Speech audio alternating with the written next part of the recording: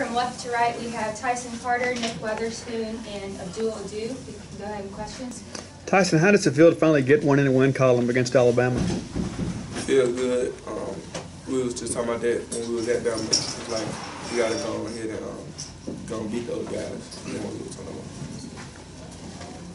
Nick, you seem to here recently really be coming on offensively and things. Did you change any part of your game, or here recently to, to be more, I guess, have more points on the stat sheet and things here here here lately and things? You've obviously been active defensively and things, but did anything change for you to become more assertive offensively?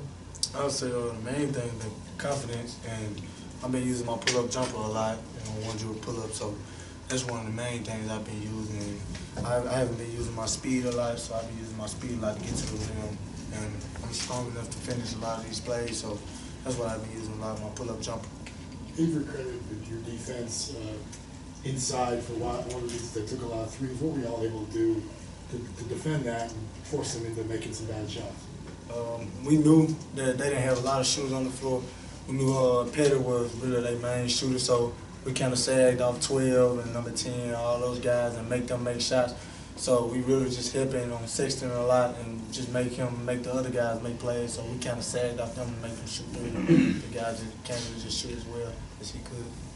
Tyson, uh, back on Alabama, obviously, they've kind of been a thorn in y'all's side, and the same thing with Georgia. What's it like from a mental standpoint to, to get over the hump and be able to beat those two teams? Can you move the mic? Bring the answer. Can you answer with the mic? Thank you. Um, can you repeat that? Just to get over that mental hump of beating Alabama and Georgia, and Yeah. Um, we just we knew that we've been playing good lately. Uh, we've been winning because of our defense. We've really been guarding people. But we came to this game with a lot of confidence. And uh, like you said, they've been beating us, and that made us that made us just even go harder because we knew we, we didn't want to keep losing to them. Hey Abdul, how, how has this team become a better rebounding team lately? Um, we take we take everything personal, you know, rebounds, scoring, defense, you know. Um, um, one thing we do best right now is we block out, you know, the whole five guys from the one to the five.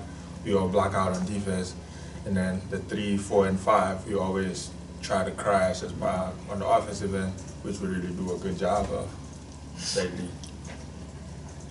Nick, it seemed like the crowd kind of gave you guys a lift when you needed them late defensively. What was kind of your opinion of the crowd? Uh, I mean, our crowd it was real well, especially in the second half. We know uh, a lot of teams play uh, better at home because of the crowd and them just lifting us up. Um, it, helped us out a lot, just made us want to defend more. So our crowd was great tonight. Nick, how do you describe this win? You guys played just a couple of weeks ago over in Tuscaloosa and got back within distance, but now to finally beat Alabama. Well, how, how big of a win is this for you guys, uh, especially now as you head on the road this weekend? Uh, we made a couple adjustments, um, like with some of the switches or some of the guys, and um, we just memorized like with some of the things they did, and we knew they was coming in here very confident that they can beat us, and this win it means a lot to us. I mean, this this game we've been talking about before the season, so it's very big for us to just get this win right here.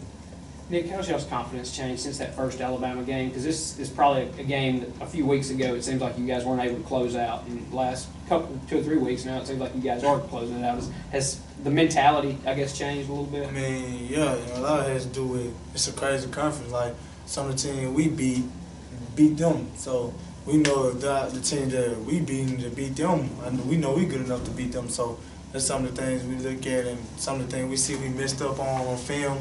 We know we're gonna do better than this, so we did better than that, this game, and we were able to close it out. Last question. All right, thanks.